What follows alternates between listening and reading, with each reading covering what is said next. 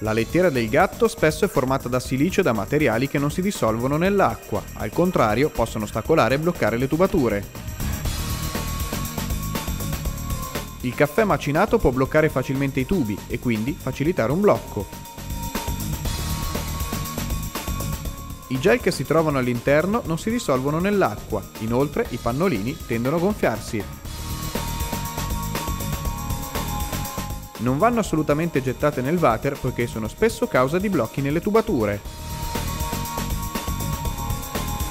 Gli oli di cottura e altri lubrificanti non devono mai essere gettati nel water poiché una volta raffreddati si solidificano. Si bloccano nelle tubature e creano ingorghi poiché accumulano ulteriori rifiuti come ad esempio i capelli.